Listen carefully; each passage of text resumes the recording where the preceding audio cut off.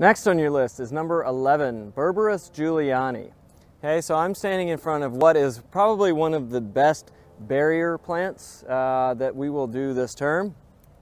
Berberis julianae or wintergreen barberry is an evergreen barberry. It has much larger leaves than a lot of the other barberries that we'll do. They're a couple inches long. The leaves are whorled. That means there are multiple leaves per node. So there are three to five leaves generally uh, per node. Okay, so whorled there.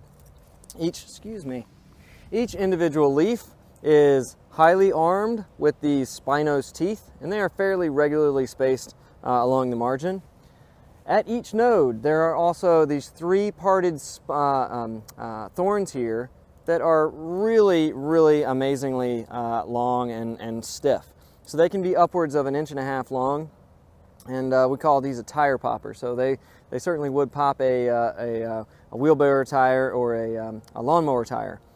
They do have uh, yellow flowers in spring, and they have the typical fruit uh, for barberries. They have this glaucous uh, covering on the outside. They're still green at this time of year, but they will mature to that blue, black, purplish kind of color. So really dense growth, uh, really armored. There are no serious pest and disease problems, and it's fairly drought tolerant once it's established. So uh, Berberis julianae is a, uh, again, a great plant for a screen, hedge, or barrier, but it is not a small plant, and I'm not aware of many uh, dwarf cultivars that are out there.